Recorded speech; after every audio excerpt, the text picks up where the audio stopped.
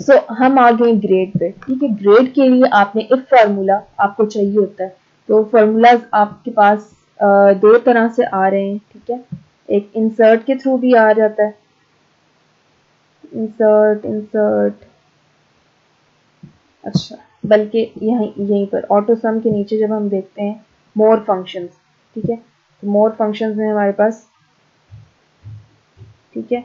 ये आपके पास बल्कि कहीं और अगर जाकर आप क्लिक करो, ठीक है? और देन मोर फ़ंक्शंस पे जाओ तो वो आपके पास डिफरेंट फ़ंक्शंस आपके पास आ जाएँगे। इफ़ वाला सबसे पहले आया ठीक है? तो आप इनमें से कोई सा भी फ़ंक्शन यूज़ कर सकते हो। हमने यूज़ किया है इफ़ वाला फ़ंक्शन ठीक है ग्रेड के लिए। कि अब मैं उसे कह रही हूँ कि अगर G2 बड़ा है G2 व्हाट इज़ G2 ये वाला कॉलम ठीक है? दिस इज़ ये मेरे पास G2 सेल है, ठीक है? अब मैं उसे क्या कह रही हूँ कि अगर मेरे पास G2 बड़ा है 90 से तो उसमें क्या प्रिंट हो जाए? A, ठीक है? ये इसका सिंटेक्स एज इट इज़ आपने फॉलो करना है। हमने क्या कर दिया था? कोमा लगा दिया था तो वो काम नहीं कर रहा था। बिकॉज़ थोड़ा सा भी आ जाए डिफरेंस तो वो नहीं करता, ठीक है? कॉलन आपने लगाना है। उसके बाद सॉरी सेमी कॉलन ठीक है? उसके बाद आपने लिख देना है जो वैल्यू आप देना चाहते हो। इन्वर्टेड कोमास में ठीक है? यानी फ़र्स्ट वैल्यू ये कंडीशन ठीक है? दिस इज़ द कंडीशन ये।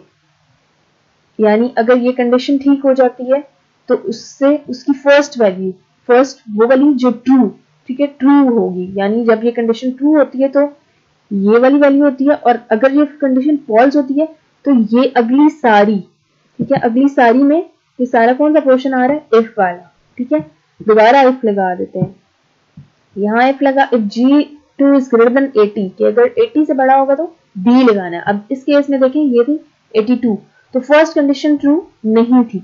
हम किस पे चले गए फॉर यानी अगर ये ट्रू नहीं होगा तो इसे ए नहीं मिलना। मतलब अब हमने यहाँ से लेकर इफ़ से लेकर यहाँ लास्ट तक काम करना है। सो so, अब वो दोबारा देखेगा G two is greater than eighty तो अब देखो अब ट्रू हुआ है। तो अब ट्रू हुआ तो उसने ट्रू वाली वैल्यू यानी जो फ़र्स्ट वाली हमारी वैल्यू है दैट इज़ बी तो उसने बी यहाँ पर पुट कर दिया, ठीक है? फिर हम देखते हैं फॉर एग्ज़ाम्पल हम इसकी बात करते हैं 73 की, ठीक है? तो इसमें हमारे पास सी कैसे आया था? कि देखें G three is greater than seventy तो पहली दो वैल्यूज़ रॉन्ग और उसने सी वाली कर दी, ठीक है? इसी तरह फिर इसकी या सी आएगा या फॉल्स के केस में अगला।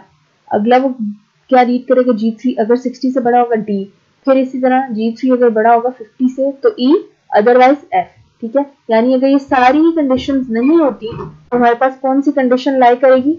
एफ़ आ जाएगा ठीक है? सो so, उसमें एफ़ हमारे पास कहीं भी नहीं है ठीक है? सो so, इसी तरह आपने ग्रेडिंग करनी है यहाँ पे मैं करूँगी और उसके बाद मैंने इसी फॉर्मूले को क्या कर दिया था? नीचे तक ड्रैग कर दिया था ठीक है?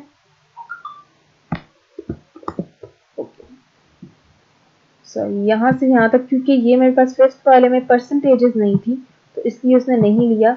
एक्चुअली इस वाले में मेरे पास परसेंटेजेस आ रही हैं। ये जो फाइनल परसेंटेज है ठीक है? अच्छा इस वाले की आज सच ज़रूरत नहीं थी। ए नहीं यहाँ पर हमें कोई ग्रेड की ज़रूरत नहीं है। ओवरऑल जो ग्रेड है दैट इज़ बी ठीक है?